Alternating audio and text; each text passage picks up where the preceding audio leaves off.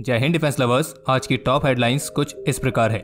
जानिए एएमसीए कैसे कॉम्पीट करेगा, उससे पहले विकसित हो रही टेक्नोलॉजी से।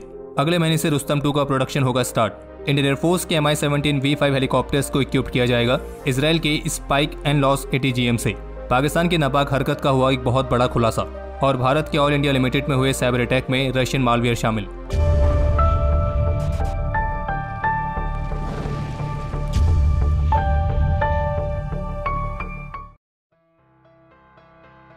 द वीक की वीकली मैगजीन में भारत के स्वदेशी प्रोग्राम एएमसीए और रुस्तम टू को लेकर कुछ बेहद ही बड़े और दिलचस्प खुलासे किए गए हैं।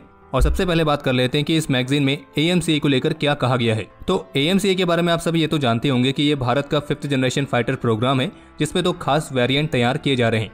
पहला वेरिएंट होगा मार्क वन और दूसरा होगा मार्क टू जो मार्क वन है, वो एक फिफ्थ जनरेशन फाइटर होगा, जिसकी 2030 तक इंडियन एयरफोर्स की सर्विस में इंडक्ट होने की संभावना है। वहीं जो मार्क टू है तो वो एक 5.5 जनरेशन का फाइटर होगा, जिसमें सिक्स जनरेशन फाइटर की कैपेबिलिटीज भी इंक्लूड की गई होंगी। और अब द वीक के साथ एक्सक्लूसिव इंटरव्यू के दौरान, इस प्रोग्राम पर काम कर रहे ऑफिशियल्स की तरफ़ से इस बात का खुलासा किया गया है कि AMCA की जो टॉप स्पीड होने वाली है, वो होगी करीब मैक 2.15 यानी कि 2600 किलोमीटर पर आवर और अगर ऐसा होता है तो फिर A A fifth generation fighters की कैटेगरी में सबसे फास्टेस्ट फिफ्थ जनरेशन वाला फाइटर होगा।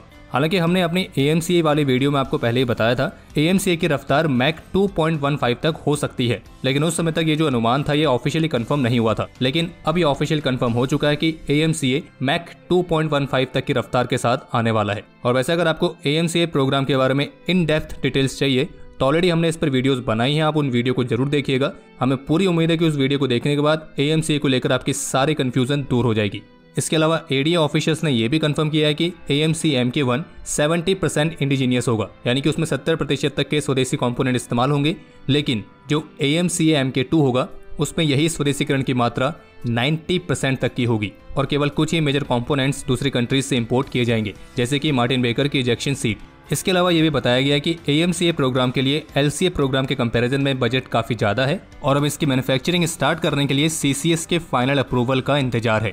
और उन्हें यह भी उम्मीद है कि सीसीएस से जो अप्रूवल है, ये भी बेहद ही जल्द अब कभी भी आ सकता है। और ए के पहले पाँच प्रोटोटाइप्स को बनाने और उनकी फ़्लाइट टेस्टिंग के लिए एडीए ने 10 साल का रोड मैप तैयार किया है और जो पहले पाँच प्रोटोटाइप से उनकी जो कॉस्ट होगी, वो होगी करीब 900 करोड़ रुपीस ईच लेकिन यह भी उम्मीद जताई गई है कि बाद में जाकर जब इसका प्रोडक्शन प्रोसेस स्टार्ट हो जाएगा, तब ए की यही कॉस्ट काफ़ी कम हो जाएगी। और वैसे भी डिफेंस साइंटिस्ट के अनुसार प्रोटोटाइप्स की कॉस्ट हमेशा ही ज़्यादा होती है, क्योंकि आखिरकार वो एक टेस्ट व्हीकल्स होते हैं। लेकिन इसके बावजूद भी ए जिसे अधिकतर स्वदेशी तौर पर ही बनाया जा रहा है, ये इम्पोर्टेड फाइटर्स के कंपैरिजन में कहीं गुना सस्ता होगा। और अगर आप इसे कंपेयर करते हैं एफ़ ट्वेंटी टू और एफ़ थर्टी फाइव जैसे फिफ्थ जनरेशन फाइटर से तो ए की जो डेवलपमेंट कॉस्ट है तो वो यूएस के इन प्रोग्राम की ओवरऑल डेवलपमेंट कॉस्ट का केवल नाइन परसेंट हिस्सा है। यहाँ तक कि इसका बेसिक एयरक्राफ्ट यानी कि जिसमें इसकी वेपन्स की कॉस्ट मेंटेनेंस और अपग्रेड्स की कॉस्ट नहीं लगाई गई है तो वो करीब 50 से 60 परसेंट ज़्यादा सस्ता होगा।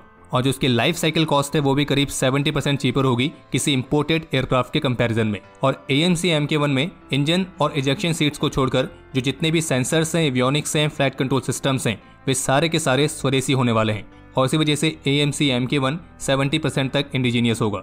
ऑफिशियल्स का यह भी कहना है कि जितनी देरी एल सी ए प्रोग्राम में हुई थी तो ए एम सी ए प्रोग्राम में उतनी देरी ना हो तो इसी बात को सुनिश्चित करने के लिए एक पीएमटी बनाई गई है। यानी कि प्रोजेक्ट मॉनिटरिंग टीम जो कि एएमसीए प्रोजेक्ट के सभी पहलुओं को देखने वाली है। और इस टीम में 25 इंडियन एयरफोर्स ऑफिसर्स हैं, जिन्हें हेड कर रहे हैं एयर मार्शल रैंक के ऑफिसर और इस प्रोग्राम की देखरेख के लिए पीएमटी, एडीए की सभी मीटिंग्स में शामिल होती है और साथ ही साथ इस बात को भी सुनिश्चित करती है कि इंडियन एयरफोर्स हेडक्वार्टर से जो भी ज़रूरी अप्रूवल्स चाहिए, वो समय पर मिल सके।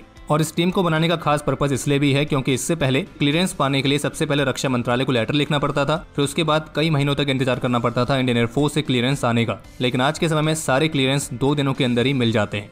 और एडियो ऑफिशियल्स का कहना है कि ऐसा इसलिए भी है क्योंकि अब से इन प्रोग्राम में यूज़र जो कि इंडियन एयरफोर्स है तो वो भी काफ़ी ज़्यादा इन्वॉल्व होकर इसमें काम कर रही है। ऑफिशियल्स का यह भी कहना है कि ए को इस तरीके से डिज़ाइन किया जा रहा है ताकि उसकी जो शेल्फ लाइफ है, वो करीब 30 सालों तक रहे। इसके अलावा ऑफिशियल्स ने यह भी कंफर्म किया कि A M C M K two electronic pilot जैसे फीचर के साथ भी आएगा। जो कि एक तरह का मिशन पायलट होगा और वह एयरक्राफ्ट के फ्लाइंग पायलट को मिशन में सपोर्ट करेगा। बिल्कुल किसी एक्चुअल को पायलट की तरह। इसके अलावा A M C M K two में automatic take off landing automatic air to air refuelling high level की आर्टिफिशियल इंटेलिजेंस और रिमोट पायलटिंग जैसे कई सारे फ्यूचरिस्टिक फीचर्स इंक्लूड किए जाएँगे।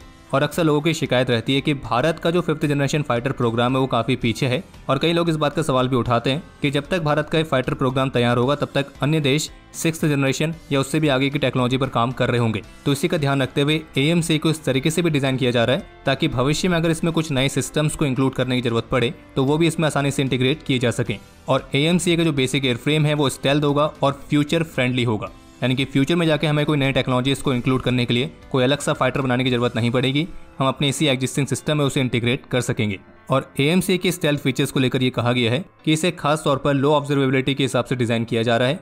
यानी कि इसे डिटेक्ट कर पाना आसान नहीं होगा। और अगर कोई एएमसी को डिटेक्ट कर भी ले तो ऐसे में ऑफिशियल्स का कहना है कि ए डिसअपेयर हो सकता है। और बहुत तेज़ी से टारगेट के पास पहुँच सकता है, ताकि इसको रिएक्ट करने के लिए बेहद ही कम रिएक्शन टाइम मिल सके। अब ये डिसअपेयर हो सकता है, ये वाला जो फीचर है, ये तो खैर हमें भी समझ में नहीं आया है, लेकिन हाँ अगर इस वाले पॉइंट को लेकर आपको कुछ कहना है तो आप उसे कमेंट सेक्शन में शेयर कर सकते हैं। अब बात कर लेते हैं कि रुस्तम टू प्रोग्राम को लेकर कौन कौन से बड़े खुलासे किए गए हैं। तो रुस्तम टू जिसका नया नाम है Tapas B H two zero one Tapas B H का फुल फॉर्म है tactical airborne platform for aerial surveillance beyond horizon 201 और रुस्तम टू इसका पहले वाला नाम था, लेकिन अभी भी ये रुस्तम टू के नाम से ही ज़्यादा मशहूर है।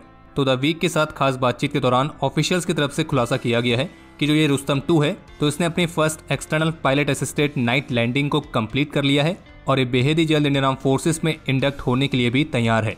इसके अलावा ऑफिशियल्स का यह भी कहना है कि मुख्य रूप से इस यूवीवी को सर्विलियंस पर्पज के लिए ही बनाया गया है, लेकिन ये अपने साथ हथियार भी कैरी कर सकता है। और फ़र्स्ट टाइम ऑफिशियली ये कंफर्म हुआ है कि रुस्तम टू को वेपन्स कैरी करने के लिए भी प्री डिज़ाइन किया गया है और इसे एक आर्म्ड प्लेटफॉर्म यानी कि एक आर्म्ड यूवीवी में कन्वर्ट किया जा सकता है।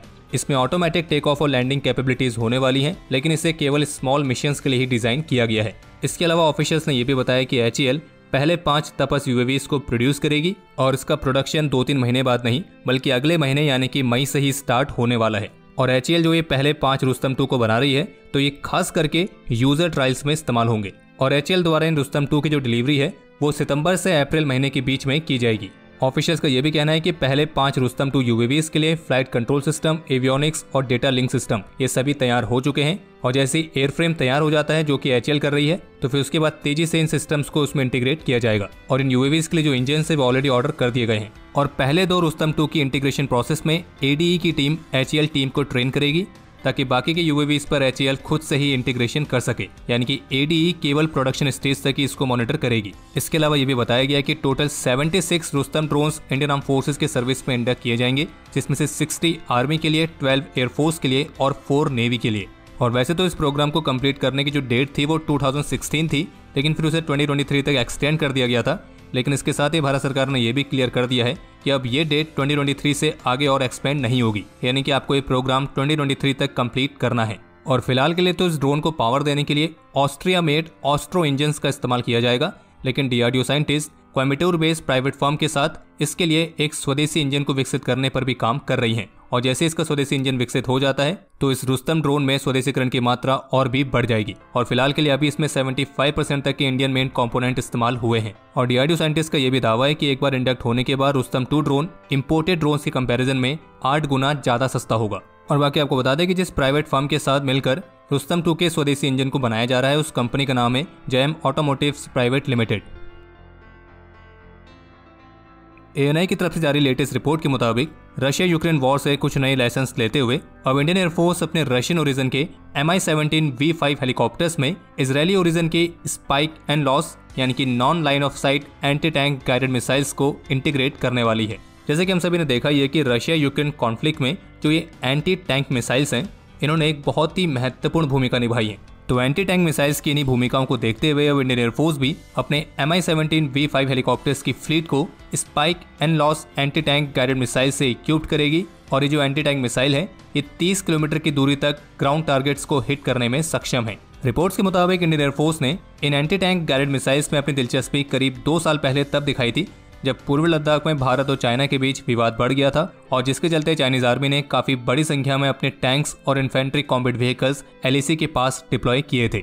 और जबकि इस विवाद से पहले केवल वेस्टर्न थिएटर को ही एक टैंक वॉरफेयर के लिए सबसे महत्वपूर्ण माना जाता था। लेकिन 2020 के इंडिया चाइना स्टैंड ऑफ़ ने इस बात को भी साबित कर दिया कि केवल वेस्टर्न ही नहीं, बल्कि नॉर्दर्न और ईस्टर्न बॉर्डर्स भी टैंक वॉरफेयर के मामले में उतने ही महत्वपूर्ण है। और इसलिए सोर्सेज का कहना है कि फोर्स की तरफ़ से इसराइल के इन स्पाइक एंड लॉस एटीजीएम के कुछ लिमिटेड नंबर्स में ऑर्डर्स प्लेस किए गए हैं। लेकिन साथ में ये भी कहा गया कि इंडियन एयरफोर्स इन मिसाइल्स के रिक्वायरमेंट के लिए बड़ी संख्या में मेक इन इंडिया सॉल्यूशंस को ही देख रही है। यानी कि इसराइल से जो एटीजीएम्स ऑर्डर की गई है, वो लिमिटेड नंबर पे है। और बाकी बाद में इस तरह के एटीजीएम के जो बड़े ऑर्डर्स हैं वो इंडियन कंपनीज़ को ही दिए जाएँगे। बाकी भारत के पास हेलिना के रूप में इसके इंडियन ऑल्टरनेटिव्स भी मौजूद हैं और जिसके अभी कुछ दिनों पहले रुद्र हेलीकॉप्टर से टेस्ट भी किए गए हैं। लेकिन आपको बता दें कि भारत की हेलिना मिसाइल 7 से 10 किलोमीटर की रेंज के साथ आती है और वहीं इसराइल की जो ये स्पाइक एंड लॉस एटीजीएम है तो इसकी रेंज करीब 30 किलोमीटर तक है। इसके अलावा एक अपडेट ये भी सामने आया है, जिसमें टाइम्स ऑफ़ इंडिया की रिपोर्ट में बताया गया है कि इंडियन आर्मी की जो बैटल टैंक्स और इन्फेंट्री फाइटिंग व्हीकल्स हैं, उन्हें बेहद ही जल्द कुछ एडवांस 81 वन mm के स्मोक ग्रेनेड से इक्विप्ड किया जाएगा। और जो ये स्मोक ग्रेनेड्स होंगे, ये करीब 40 सेकंड तक स्मोक की एक थिक लेयर एमिट करके दुश्मन को उलझाने में कामयाब रहेंगे। और इतना समय पर्याप्त होगा हमारी फोर्सेस के लिए स्ट्रेटेजिक पोजीशन लेके अपने एडवर्सरीज को काउंटर करने के लिए। और इन स्मोक ग्रेनेड्स को विकसित किया है डीआरडीओ की एच लेबोरेटरी ने, और इंडियन आर्मी अलग अलग इलाकों में और अलग अलग टेम्परेचर में इन ग्रेनेड्स को ऑलरेडी टेस्ट कर चुकी है। ये रेगिस्तान के 45 डिग्री सेल्सियस से लेकर नॉर्दर्न बॉर्डर के minus fifteen degree Celsius temperature में टेस्ट किए गए हैं। और डीआरडीओ ऑफिसर्स के मुताबिक इस ग्रेनेड ने टेस्टिंग के दौरान आर्मी की सारी ऑपरेशन रिक्वायरमेंट्स को पूरा किया है। और ऑफिसर्स का ये कहना है कि अभी के समय जो स्मोक ग्रेनेड्स इस्तेमाल होते हैं, उनकी अपनी कुछ लिमिटेशंस हैं। जैसे कि अभी तक जो स्मोक ग्रेनेड्स इस्तेमाल होते आ रहे थे तो वे एंटी थर्मल और एंटी लेजर सिस्टम से इक्विप दुश्मन के टैंक्स और बीएमपीज के खिलाफ कोई भी सुरक्षा प्रदान नहीं करते हैं। लेकिन अब जो न्यूली डेवलप्ड स्मोक ग्रेनेड्स हैं तो ये दुश्मन के एंटी थर्मल और एंटी लेजर सिस्टम्स को भी डिफीट करने में सक्षम है। यानी कि ये सिस्टम्स भी इस नए वाले स्मोक ग्रेनेड के आर पार नहीं देख सकते हैं। और ऑपरेशन पर्पज के लिए भारत के फोर्सेज के लिए एक बड़ा एडवांटेज साबित होगा। बाकी आर्मी इनकी परफॉर्मेंस से पूरी तरीके से सेटिस्फाइड है और एक बहुत बड़ी क्वांटिटीज में इनकी मैन्युफैक्चरिंग स्टार्ट की जानी है। और बाकी आगे बढ़ने से पहले, आप में से शायद ही कोई ऐसा होगा जो गूगल कंपनीज़ के प्रोडक्ट इस्तेमाल ना करता हो। फिर चाहे इंटरनेट पर कुछ सर्च करने की बात हो, या फिर केवल यही चेक करना हो कि इंटरनेट चल भी रहा है या नहीं तो उसके लिए भी आप में से अधिकतर लोग गूगल सर्च इंजन का ही इस्तेमाल करते होंगे। इसी तरीके से इस वीडियो को देखने के लिए जो अभी आप यूट्यूब का इस्तेमाल कर रहे हैं तो वो भी गूगल कंपनी का ही एक फ्लैगशिप प्रोडक्ट है। और इतना ही नहीं, बल्कि आप में से अधिकतर लोग नेविगेशन के लिए गूगल मैप्स का ही इस्तेमाल करते होंगे। और ऐसे ही गूगल के कई सारे प्रोडक्ट्स हैं, जिनको हम सभी डेली बेसिस पर कहीं ना कहीं इस्तेमाल ज़रूर करते हैं। और ये भी आप जानते होंगे कि गूगल का नाम टॉप की मल्टीनेशनल कंपनीज़ में आता है। तो इसलिए आज हम आप सभी को आईएनडी मनी के साथ मिलकर इसी टॉप मल्टीनेशनल कंपनी के शेयर्स बिल्कुल फ्री देने वाले हैं। और जिन्हें नहीं पता है, उन्हें बता दें कि आईएनडी मनी एक ऐसा प्लेटफॉर्म है, जिसके माध्यम से आप यूएस स्टॉक्स में बड़ी आसानी से इन्वेस्ट कर सकते हैं। और यूएस स्टॉक्स में इन्वेस्ट करने के लिए आपको पूरा शेयर लेने की ज़रूरत भी नहीं है, बल्कि आप उसे फ्रैक्शन में, यानी कि उनके शेयर का छोटे से छोटा हिस्सा भी ले सकते हैं। और आई मनी प्लेटफॉर्म में अकाउंट ओपनिंग की कोई भी फ़ीस नहीं है, कोई भी कमीशन नहीं है, कोई भी ब्रोकरेज चार्जेस नहीं है। और अगर आप फ़र्स्ट टाइम इसमें फंड करते हैं तो आपको सात सौ तक के यूएस स्टॉक्स और फ्री में मिलते हैं। और आई मनी के इस्तेमाल से केवल यूएस स्टॉक से नहीं बल्कि आप अपनी सारी इन्वेस्टमेंट्स को एक ही जगह से ट्रैक भी कर सकते हैं। तो अगर आप इस प्लेटफॉर्म को ट्राई करना चाहते हैं तो वीडियो के डिस्क्रिप्शन में हमने इसका लिंक दिया है, उस पर क्लिक करके आप इसकी मोबाइल एप्लीकेशन को डाउनलोड कर सकते हैं। और वहीं अगर आप इसे डायरेक्ट ऐप स्टोर या प्ले स्टोर से डाउनलोड कर रहे हैं तो साइन अप करते समय और अपना अकाउंट सेटअप करते समय हमारे कूपन कोड डी गूगल का इस्तेमाल करना ना भूलें, ताकि आपको गूगल कंपनीज़ के शेयर फ्री में मिल सके। पिछले 24 घंटे में जम्मू कश्मीर में दो अलग अलग ऑपरेशन चलाए गए थे। एक ऑपरेशन चलाया गया था कुलगांव में और दूसरा चलाया गया था पुलवामा में। तो जो कुलगांव वाला ऑपरेशन है, उसमें हमारी फोर्सेस ने सुअरों के संगठन जैश के दो सुअरों को सफलतापूर्वक होरीफाइड किया है और जो ये दो सुअर मारे गए हैं, ये पाकिस्तान से थे। और इनके पास से दो एक राइफल्स सात एक मैगजीन नौ ग्रेनेड्स और ऐसी other arms and ammunition recover किए गए हैं। और इन दोनों सुअरों में से एक की पहचान सुल्तान पठान के तौर पर हुई है और दूसरे की जबीउल्ला के तौर पर। ये दोनों ही पाकिस्तान के निवासी थे और एक कैटेगराइज टेररिस्ट थे, जो कि कुलगांव और सोपिया डिस्ट्रिक्ट के एरियाज़ में 2018 से एक्टिव थे।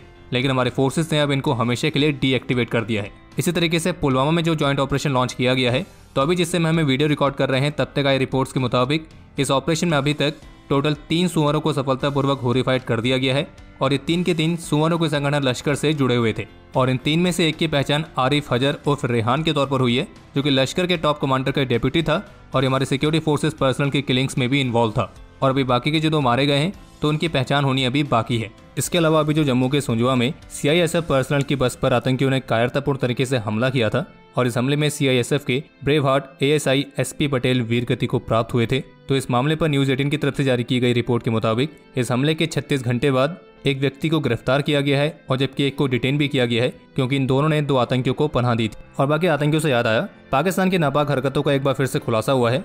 असल में हुआ यह है कि पिछले साल दिल्ली पुलिस ने दो आतंकियों को गिरफ़्तार किया था, जिनके नाम है जिशान और ओसामा।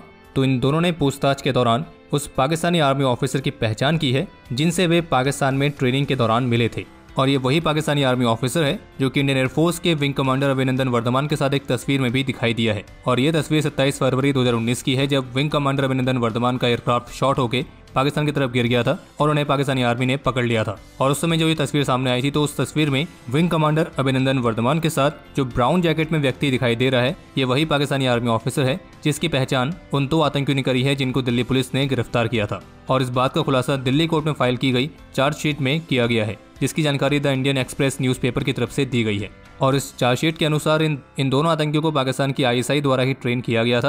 और जब ट्रेनिंग के लिए पाकिस्तान में थे तो उस समय ये पाकिस्तान के इस आर्मी ऑफिसर से मिले भी थे। और ये पाकिस्तानी आर्मी ऑफिसर, जिसका नाम है मेजर हमजा, ये उस समय उनकी ट्रेनिंग का प्रमुख था। और इसी मेजर हमजा ने उन्हें ये भी बताया था कि वो विंग कमांडर अभिनंदन की गिरफ्तारी के समय भी मौजूद था। और ये सारी चीज़ें फिर से इस बात को क्लियर करती हैं कि पाकिस्तान की आर्मी, पाकिस्तान की आईएसआई किस तरीके से भारत में अशांति फैलाने के लिए आतंकियों को ट्रेन करती है और फिर उन्हें भारत भेजती है।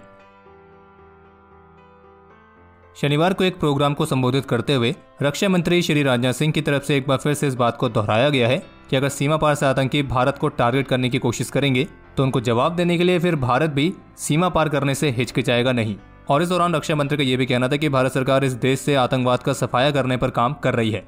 इसके अलावा कल 25 अप्रैल से नेवल कमांडर्स कॉन्फ्रेंस 2022 के पहले एडिशन को शुरू किया जाएगा और इस दौरान इंडियन नेवी चीफ के साथ नेवी के सभी टॉप कमांडर्स, पिछले छह महीने की नेवी की मेजर ऑपरेशंस, लॉजिस्टिक्स, एचआरडी और ऐसी अदर एक्टिविटीज़ को रिव्यू करने के साथ साथ नेवी के फ्यूचर प्लान्स को भी डिस्कस करेंगे। इसके अलावा इंडियन कोस्ट गार्ड ने अपनी सर्विस में एक नई वैसल को इंडक्ट किया है, जिसका नाम है ऊर्जा प्रभा जो कि एक ऑक्सिलरी बार्ज है। यानी कि एक ऐसी वैसल जिसे खास तौर पर डिज़ाइन किया जाता है cargo ship fuel aviation fuel या फ्रेश वाटर को कैरी करने के लिए। इसके अलावा एक बड़ा अपडेट यह है कि जो अभी कुछ दिनों पहले भारत के ऑल इंडिया लिमिटेड पर साइबर अटैक होने वाली रिपोर्ट सामने आई थी तो अब इसी मामले पर कुछ नई जानकारी सामने आई है, और वो ये है कि टॉप पुलिस ऑफिशियल का कहना है कि इस साइबर अटैक में रशियन मालवेयर का इस्तेमाल किया गया था, जो कि नाइजीरिया के सर्वर में प्लांट था। बाकी अब समय है आज के इतिहास का तो आपको बता दें कि आज के दिन 2001 में जम्मू कश्मीर के अनंतनाग में एक आईडी ब्लास्ट में आईटीबीपी के सब इंस्पेक्टर सुरेंद्र सिंह और कांस्टेबल कमरुद्दीन ने अपने जीवन का सर्वोच्च बलिदान दिया था। आज के दिन 2017 में छत्तीसगढ़ के सुकमा में हुए हमले में हमारे सीआरपीएफ के 25 वीर जवान वीर गति को प्राप्त हुए थे। आज का वो दिन है जब 1956 में नागालैंड में अपने अदम्य साहस और वीरता का परिचय देते हुए हवलदार जोगिंदर सिंह भी वीर गति को प्राप्त हुए थे और उनकी वीरता के लिए उन्हें मरणोपरांत अशोक चक्र से भी सम्मानित किया गया। बाकी आपके लिए आज का सवाल कि major Shaitan Singh Indian army की कौन सी रेजिमेंट से थे? और अब समय है आज के टॉप थ्री कमेंट्स का, जो ये रहे आपकी स्क्रीन पर।